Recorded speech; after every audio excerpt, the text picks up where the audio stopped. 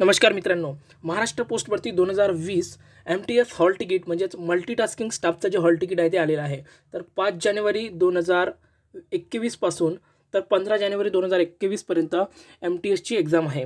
त्यामध्ये negative marking आहे की नाही परीक्षेला जाताना लागणारं कागदपत्र जे आहे ओळखपत्र आहे जे मूळ लागेल की झेरॉक्स त्यानंतर उमेदवारांनी पारदर्शक पेन्सिल स्वतः आणायची की त्यांच्यामार्फत मिळणार आहे. त्याच्यानंतर कोविड नाईन्टीनची काय सावधगिरी घ्यायची याबद्दलच्या सर्व महत्त्वाच्या सूचना आपण आजच्या व्हिडिओमध्ये पाहणार आहोत. तर हा व्हिडिओ खूप महत्त्वाचा आहे मित्रांनो. आणि तुम्हाला जर प्रिव्ही म्हणजेच पाच ते पंधराच्या दरम्यान जे पेपर झाले त्याचे जर क्वेश्चन पाहिजे असतील तर माझ्या चॅनलला सबस्क्राईब करून घ्या आणि बेलायकनला प्रेस करा. म्हणजेच तुमचा प्रश कशाप्रकारे प्रश्न येईल ते तुम्हाला कळेल. तर मित्रांनो अशा प्रकारे पोस्टाचे जे हॉल तिकीट आहे एम टी एस एक्झामसाठी अशा प्रकारे त्याचा फॉर्मॅट असेल.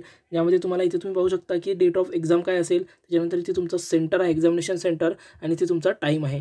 तर पर्टिक्युलर सर्व माहिती या तुमच्या हॉल तिकीटवर आहे. तर मित्रांनो इन्स्ट्रक्शन पाहून घेऊ आपण. इथे पाहू शकता तुम्ही भारतीय डाक Indian post government of India Bharat सरकारकडून मिनिस्ट्री ऑफ कम्युनिकेशन दळणवळण मंत्रालयाकडून काही महत्त्वाच्या सूचना आहे. सूचना मराठीत आहे तुम्ही ह्या डाउनलोड करून पाहू शकता. याची लिंक मी डिस्क्रिप्शनमध्ये देतो तर मित्रांनो पहिला पॉईंट आहे. उमेदवारांनी त्यांच्या प्रवेशपत्रामध्ये दिलेली माहिती तपासली पाहिजे आणि त्यात जर काही प्रॉब्लेम आढळला तर तुम्ही या वेबसाईटवर ही वेबसाईट दिलेली आहे सॉरी ईमेल आय डी दिलेली आहे त्या ईमेल आय डीवर तुम्ही मेल करायचा आहे परीक्षेच्या दोन दिवसा आधीपर्यंत. त्यानंतर दुसरा पॉईंट आहे उमेदवारांनी वर दिलेल्या वेळेनुसार परीक्षा केंद्रावर हजर राहायचं आहे आणि जर तुम्हाला उशीर झालास तर डी ओ पी जबाबदार असणार नाही. तर त्यानंतर तिसरा पॉईंट आहे सर्व उमेदवारांनी परीक्षा केंद्रात प्रवेश करण्यापुरतीच फ्रिस्किंग या प्रक्रियेत सामोर जावे लागणार आहे. फ्रिस्किंग म्हणजे काय? स्कॅनिंग होईल. काही मेटल वस्तू तुमची जर असेल ते स्कॅन होईल. म्हणजेच ते घेऊन जाता येणार नाही. त्यानंतर चौथा पॉईंट आहे उमेदवारांनी प्रवेशपत्राची मुद्रित प्रिंट आऊट परीक्षा केंद्रात आणणे आवश्यक आहे. म्हणजेच तुम्हाला प्रिंट आऊट काढायची आणि ती प्रिंट आऊट घेऊन जायचं आहे. त्यानंतर नोंदणीच्या वेळी जो अपलोड केलेला फोटो आहे त्याच त्याच्याशी मिळता जुळता फोटो किंवा तोच फोटो तशाच प्रकारचा जर फोटो असेल तर चालेल. तो तुम्हाला चिकटवायचा आहे. प्रवेश पत्रावर. त्यानंतर तुम्ही काही महत्त्वाचे पाच सहा ते जे डॉक्युमेंट आहे मूळ डॉक्युमेंट त्यापैकी एक डॉक्युमेंट लागणार आहे. कोणतं कोणते चालतं? आधार कार्ड चालक पर्या परवाना पासपोर्ट नियुक्ता ओळखपत्र म्हणजे सरकारी किंवा पी एस यूमध्ये जर नोकरीला असेल त्याचं ओळखपत्र मतदार ओळखपत्र पॅन कार्ड किंवा तुमचं जे कॉलेजचं जे आय डी प्रूफ आहे त्यापैकी एक. ते मूळ लागणार आहे झेरॉक्स चालणार नाही. त्याच्यानंतर जर तुम्ही मूळ ओळखपत्र आणू शकले नाही तर तुम्हाला परीक्षेस बसण्याची परवानगी दिली जाणार नाही. त्याच्यानंतर ही जी परीक्षा आहे ती ऑनलाईन संगणक परीक्षा आहे. ऑनलाईन म्हणजे C B T based computer based test आहे. ज्यामध्ये शंभर प्रश्नांसाठी नव्वद मिनिटे मिळतील आणि प्रत्येक अचूक पर्यायासाठी एक दु एक गुण दिला जाईल. आणि याच्यामध्ये निगेटिव्ह सिस्टीम आहे का? खूप विद्यार्थी विचारत होते निगेटिव्ह सिस्टीम आहे का? तर तुम्ही हा पॉईंट वाचू शकता. चुकीच्या पर्यायासाठी गुणांची वजावट केली जाणार नाही. म्हणजेच जर तुम्ही प्रश्न चुकला तुमचा तर तुमचे कोणतेही मार्क्स कॅन्सल होणार नाही. म्हणजे चुकीची चुकीच्या पर्यायासाठी गुणांची वजावट केली जाणार आहे म्हणजेच निगेटिव्ह सिस्टीम नाही. त्यानंतर परीक्षेच्या वेळेस तुम्हाला या सर्व ही जी सर्व सूचना आहे त्या तुम्हाला देण्यात येईल. त्याच्यानंतर कॅल्क्युलेटर मोबाईल फोन्स वापरण्यास परवानगी नाही. कच्च्या कामासाठी जे आहे कोरे कागद दिले जातील आणि उमेदवारांनी स्वतःचा पारदर्शक पेन किंवा पेन्सिल घेऊन जायचं आहे.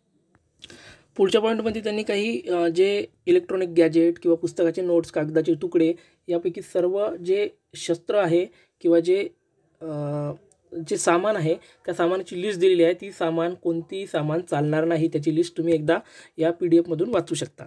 त्याच्यानंतर नेक्स्ट पॉईंट आहे उमेदवारांनी प्रवेश हॉलमध्ये प्रवेशपत्र फोटो ओळखपत्र हँड सॅनिटायझर पारदर्शक पेन किंवा पेन्सिल आणि पा पाण्याची बाटली मॅग्निफाईंग ग्लास नेण्याची परवानगी आहे. कोणते कोणते काय काय नेण्याची परवानगी आहे? तर प्रवेशपत्र फोटो ओळखपत्र हँड सॅनिटायझर पारदर्शक पेन आणि पेन्सिल आणि पाण्याची बाटली या वस्तू फक्त घेऊन जाऊ शकतो. त्याच्यानंतर परीक्षा हॉलमध्ये बरोबर शांततापूर्वक राहायचं आहे.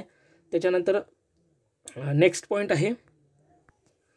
परीक्षा संपल्यानंतर प्रवे प्रवेशपत्रे परत गोळा केले जातील. त्यानंतर परीक्षेच्या एकाधिक बॅचेसनुसार बॅचेसच्या स्वरूपामुळे गुणांचे प्रमाणीकरण केले जाईल. म्हणजे इथे नॉर्मल नॉर्मलायझेशनचा कॉन्सेप्ट येतो नॉर्मलायझेशन पेपर होणार आहे.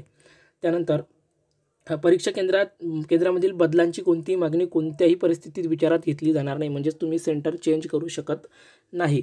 त्याच्यानंतर शेवटचा पॉईंट आहे ज्यामध्ये लिहिलं आहे परीक्षेच्या वेळी प्रवेशपत्र गोळा केले जाईल.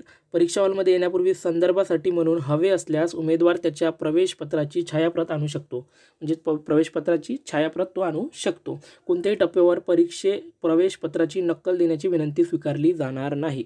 त्याच्यानंतर खालचे जे महत्त्वाचे पॉईंट आहेत चार महत्त्वाचे पॉईंट ते आपण रीड करून घेऊ. त्याच्यामध्ये उमेदवारांना खालील प्र परिस्थितीत प्र प्रश्नपत्रिका एकच्या परीक्षेसाठी मनाई केली जाईल. त्याच्यामध्ये पहिला पॉईंट आहे गेट बंद झाल्यावर केंद्रावर ये- ये- येणारे उमेदवार त्याच्यानंतर प्रवेशपत्राची छापील प्रत सोबत न बाळगणारे उमेदवार त्याच्यानंतर मुख्य मूळ ओ- ओळखपत्र जे आहे ते न बाळगणारे उमेदवार आणि शेवटचा पॉईंट आहे प्रवेशपत्रात उमेदवाराने रंगीत पासपोर्टचा पासपोर्ट आकाराचा फोटो चिकटवलेला नाही. असे जर चार केसमध्ये तुम्हाला परीक्षेसाठी मनाई केली जाईल. त्याच्यानंतर शेवटचे जे पॉईंट आहे कोविड नाईन्टीन सावधगिरीबद्दल आहे. त्याच्यामध्ये काय सांगितलं आहे त्यांनी? मास्क लावणे अनिवार्य आहे. त्याच्यानंतर विदाऊट मास्क परीक्षेला बसता येणार नाही. त्याच्यानंतर तुमची गेटवर थर्लिंग थर्मल स्कॅनिंग स्कॅनिंग होईल ज्यामध्ये तुमचं temperature nineteen point four fahrenheit किंवा thirty seven point four degree celsius पे सेल्सिअसपेक्षा जर जास्त असलं तर तुम्हाला परीक्षेला बसता येणार नाही. त्यांच्यामार्फत तुम्हाला ते दुसरी डेट देतील. त्याच्यानंतर उमेदवारांनी परीक्षा हॉलमध्ये प्रवेश करण्यापूर्वी आपले हात सॅनिटाईज केले पाहिजे. आणि शेवटचा पॉईंट आहे उमेदवाराने सोशल डिस्टन्सिंग राखले पाहिजे. अशा प्रकारे महत्त्वाच्या सूचना होत्या. त्या तुम्ही